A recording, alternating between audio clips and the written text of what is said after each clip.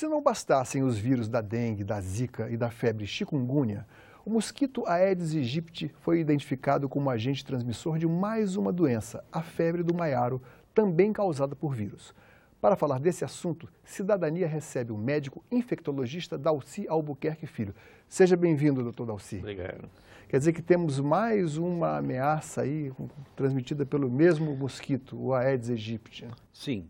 É, bom, por enquanto, podemos caracterizar como uma ameaça, que já não, ainda não existe uma comprovação absoluta de que ele transmite o maiaro. Agora, existe a grande possibilidade de que ele possa vir a transmitir o maiaro, que é uma doença que já existe há muitos anos, é uma doença endêmica em área rural, em área de floresta, porque é transmitida por um outro inseto, é comum né, em região de floresta, que é um, aquele mosquitinho pequenininho, maruim, alguns lugares chamam de porvinha, que é o que transmite essa doença, que por sinal, ela pode muitas vezes aparecer mascarada, porque ela é muito parecida com outras doenças. É muito parecida com a chikungunya. Né? Especialmente, né? porque é uma doença que provoca febre alta e dor nas juntas. Parece que já foram identificados alguns casos na Amazônia. Né? Sim, na Amazônia ela, ela acontece, como na região de Goiás também. Quer dizer, região em Goiás, ela acontece com alguma frequência. Agora, não é um, a gente não pode comparar os números de casos com relação à dengue, à própria chikungunya, zika e outras, que são doenças já epidêmicas em cidades e que cara, e comprovadamente são transmitidas pelo, pelo Aedes aegypti. Então, a febre do maiaro, por enquanto, ainda não representa uma preocupação. É, por enquanto está em segundo plano, né? Vamos... É.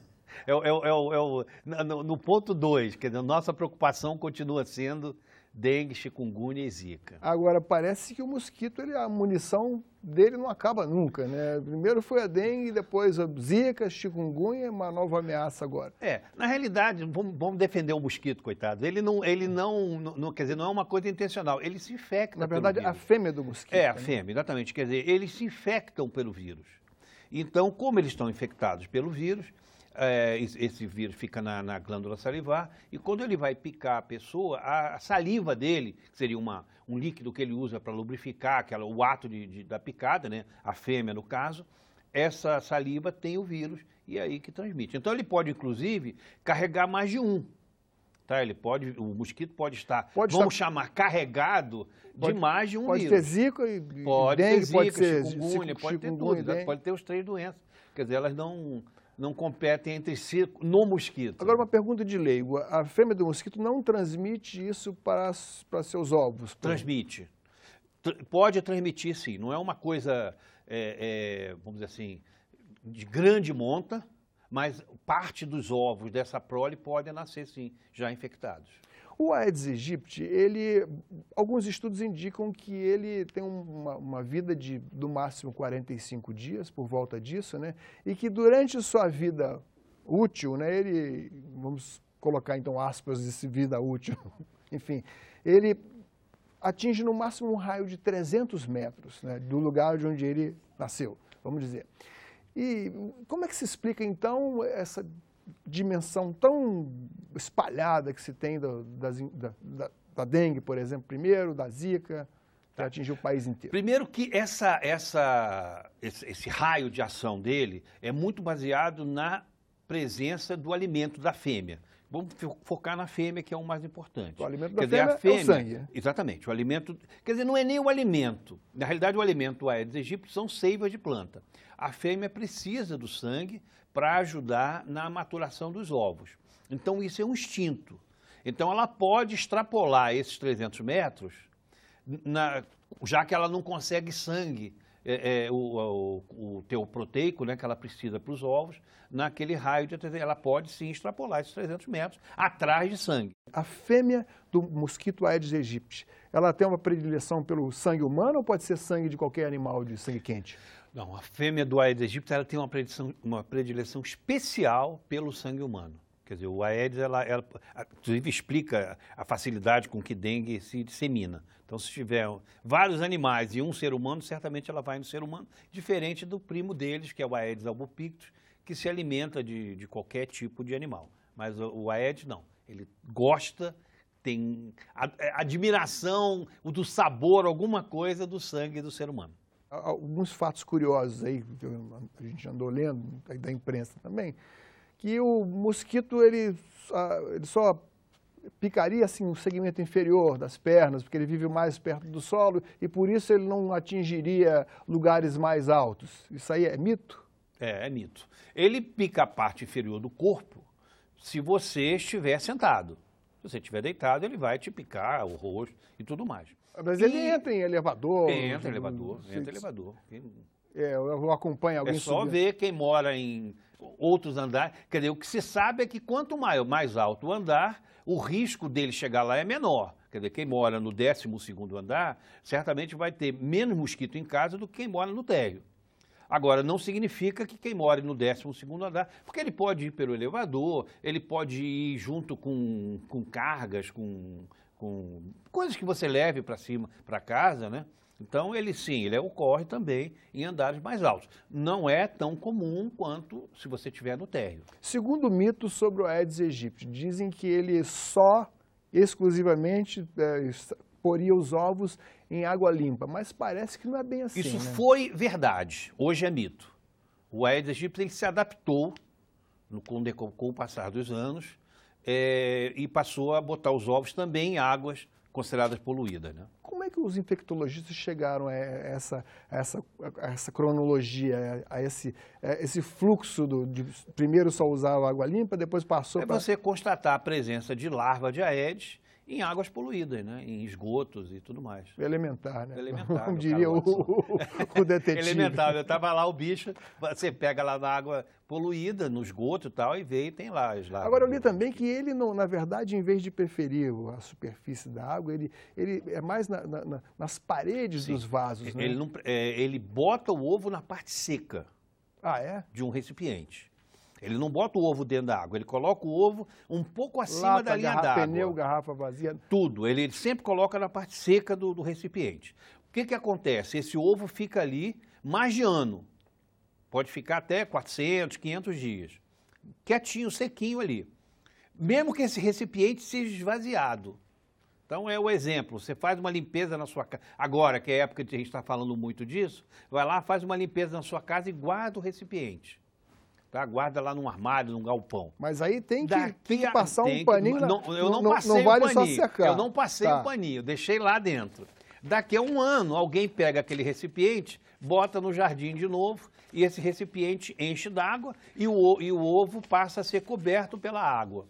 Em meia hora você vai ter o nascimento de uma geração de, de mosquitos, que estava ali há um ano, um ano e pouco. Pesquisadores da Universidade Johns Hopkins conseguiram, é, digamos assim, fabricar, entre aspas, é, mosquitos que não, não que, que quando se reproduzem, não, a, a, descendência não chega à idade adulta.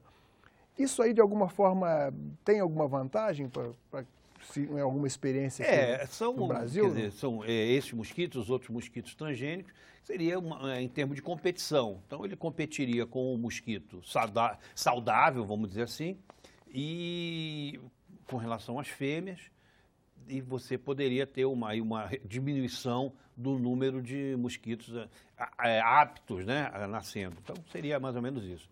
Os dados da Secretaria de Saúde do Estado do Piauí é, dão conta de que houve uma redução drástica do, da, da, ocorrência de dengue e uma, um aumento sim, notável de chikungunya entre o, no, nos anos de 2015 e 2016. Dengue, 2015, 6.432 casos. 2016, 3.389, mais ou menos a, a metade.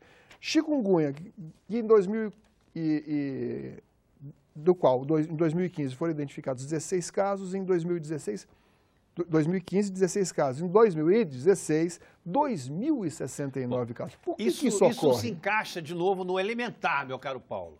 É, pelo seguinte, você depende da susceptibilidade da população. Ou seja, ali a pessoa já estava... É quem, sempre quem cíclico. Que, é, Quer dizer, a pessoa quem que tinha tem... que pegar a dengue já tinha... Exatamente. Existe um sorotipo de dengue circulando.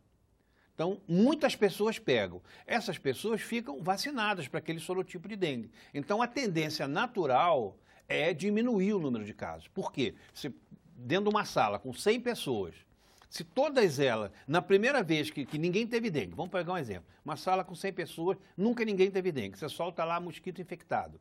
Num primeiro momento, todo mundo vai ter.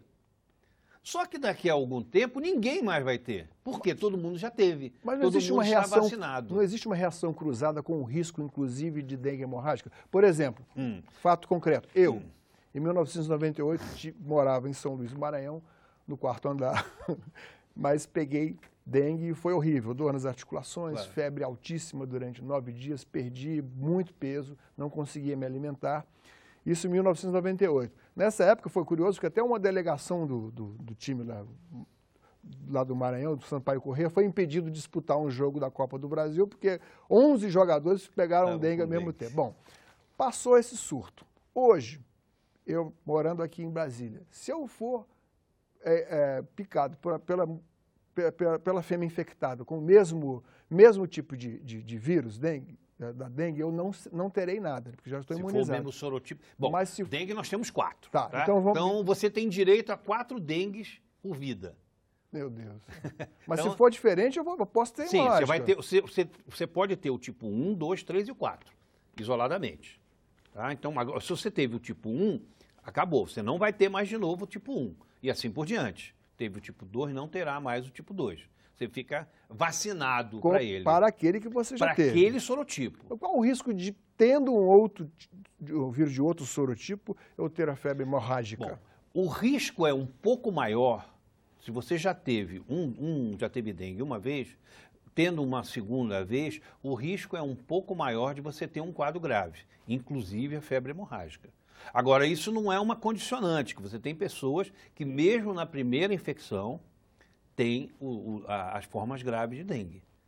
Então, Isso depende de quê? Da suscetibilidade, da, fra... da Olha, entre aspas, depende, uma- fraqueza do depende primeiro de uma reação sua, do organismo, né? Quer dizer, uma, uma reação imunológica, e depende de outras condições, por exemplo, de, de doenças pré- que você possa ter, é, faixa etária, tem uma série de variáveis.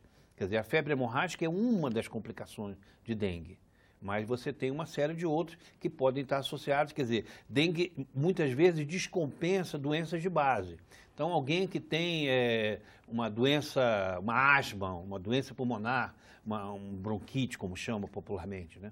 Uma Então, ele- hepatite crônica, uma por hepatite exemplo. crônica, por exemplo, então uma, uma cirrose hepática. Então são pessoas que podem ter uma complicação causada pela infecção por dengue, e não, é- não seria exatamente a febre hemorrágica.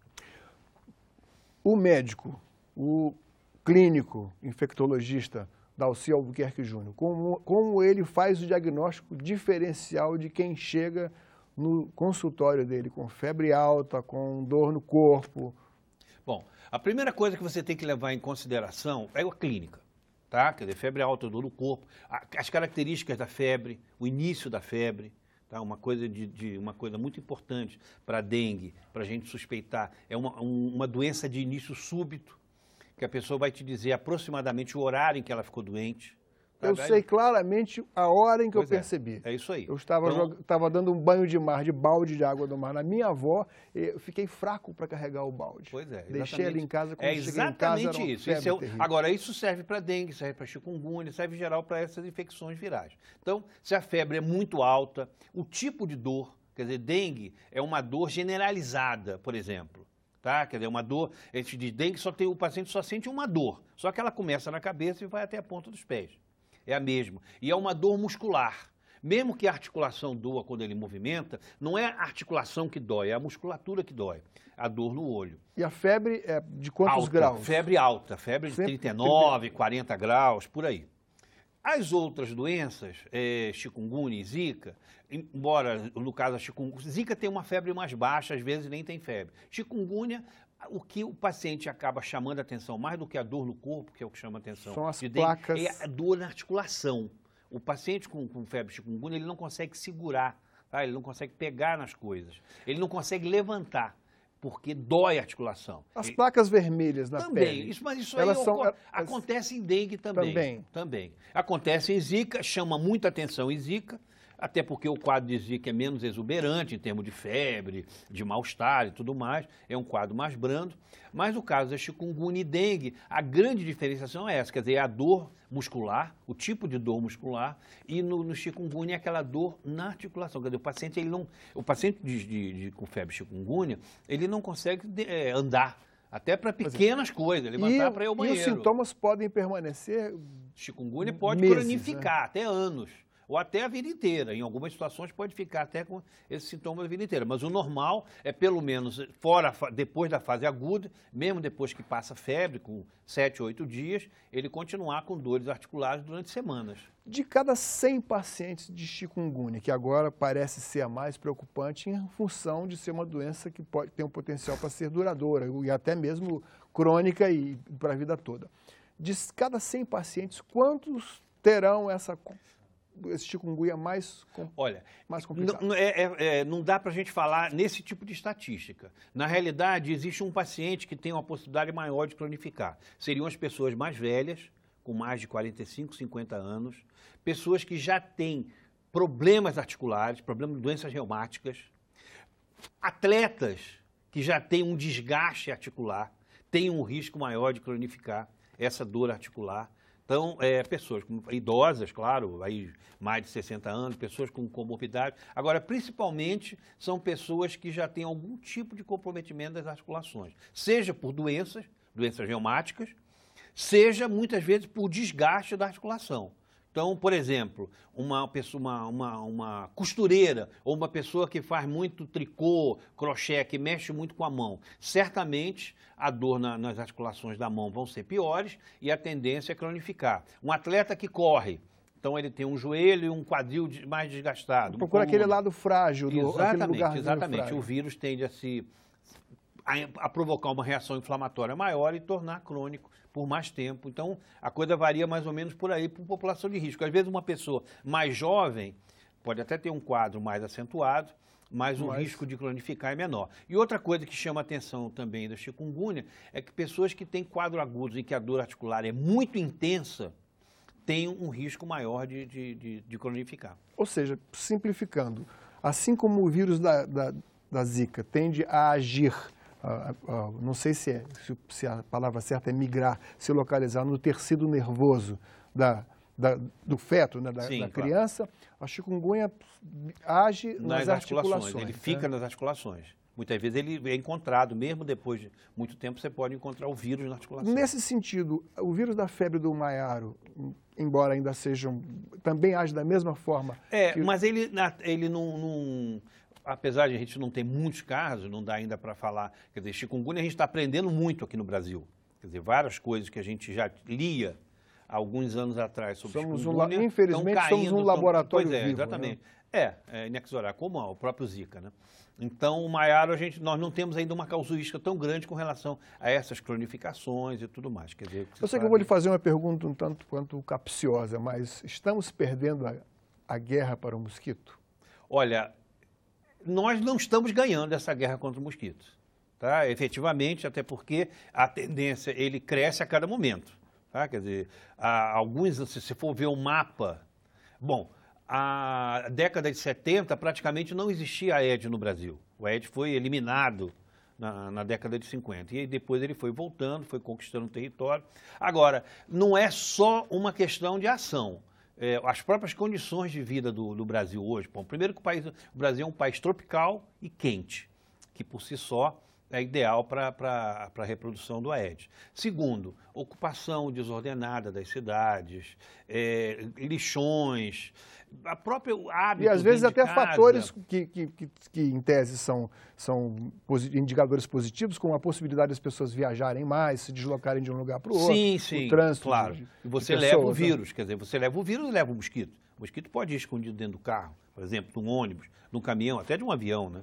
Então, isso tudo facilita. Mas eu acho que o que mais facilita é a, a, essa, ocupação, essa ocupação desordenada das cidades, a, a proximidade das pessoas, as condições das casas, quer dizer, você entra numa, numa comunidade hoje, então você vê casas feitas de, de às vezes, de, de, caco, de, de remendo, com depósito de água, é um, um latão, quer dizer, inclusive agora que nós estamos em, em fase de seca, quer dizer, com risco de, de, de falta d'água, esses, esses reservatórios de água para acumular durante um racionamento é um risco grande de vir a se tornar é, é, criadores do Aedes aegypti. Isso é uma das associações que se faz a São Paulo. durante aquela grande epidemia de 2015 foi justamente o período de racionamento em que as pessoas guardavam água e, e até supriram de água, porém facilitaram a reprodução do Aedes aegypti. É importante reforçar a tríade poder público, população Sim. e imprensa. Cada um tem a sua parte. Tá? Eu Os acho meios que o poder de comunicação público é... tem a sua parte a ser feita. A principal delas é saneamento e organização, tentativa de organização das cidades, embora a gente sabe que isso é uma, uma tarefa enorme a ser e, feita. E os meios de comunicação. E o meio de comunicação contribuindo com, é, divulgando é, o que nós sabemos. O senhor daria, de, de 0 a 10, que nota o senhor daria para cada um deles? Olha, eu acho que o poder público no Brasil, não, não vou ser tão didático, eu acho que o poder público no Brasil deixa muito a dever, quer dizer, só a gente vê a estatística sobre saneamento básico e a organização das cidades, tá? o crescimento desordenado, embora aí exista uma, uma questão política importante de você é, discutir, né? quer dizer, não é uma discussão simples, ah, não, organiza e pronto. Então, isso é uma coisa importante. Eu acho que as pessoas dentro das casas ainda muitas vezes relaxam, até sem querer, elas não valorizam determinadas coisas. Então, nós temos que entender que qualquer lâmina d'água de 2 milímetros, quer dizer, uma coisinha assim, pode virar criador. Durante do, quanto tempo? Por exemplo, a, a, tampa do vaso sanitário, se vai viajar, tem que deixar fechada. Deixar fechada, exatamente. Se possível, bater alguma úteis, coisa né? lá dentro. É porque um, um mosquito colocando ovo e esse ovo eclodindo, principalmente no período quente, na época quente do ano, no verão, em cinco, seis dias você tem um, mosquito voando. Então é o tempo dele, dele eclodir. Na época menos quente, isso demoraria um pouco mais, mas de qualquer maneira, entre 5 e 10 dias, você tem um mosquito voando. Uma última pergunta aqui. É muito questionado se todo, qualquer tipo de repelente pode ser usado. Mas o que eu li recentemente é que o repelente efetivo teria que ter a substância icaridina. É, é, procede isso ou não? Não. Outros não? repelentes também. Isso é mera propaganda, né? Mera propaganda, exatamente. Outros são efetivos também, Outros assim também como, como telar as janelas.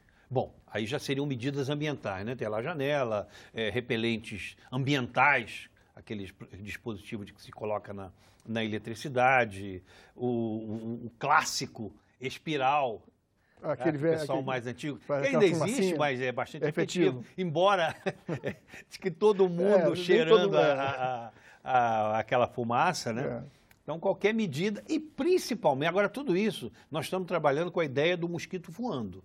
Quer dizer, a ideia de prevenção é que nós não deixemos, usando o, o, o, o bordão oficial, não deixar o mosquito nascer. Então, a prevenção deve ser a eliminação dos criadores. Ok. Muito obrigado pela sua presença aqui no nosso programa, doutor Dalci. Eu agradeço a oportunidade. Cidadania conversou com o infectologista Dalci Albuquerque Filho sobre o mosquito Aedes aegypti e as doenças que ele pode transmitir. Mande suas críticas e sugestões para nós. Ligue para o Alô Senado 0800 61 2211 ou para ver de novo. Baixar uma cópia deste programa ou de qualquer um dos outros programas da TV Senado, acesse senado.leg.br/tv. Obrigado pela atenção e até o próximo Cidadania.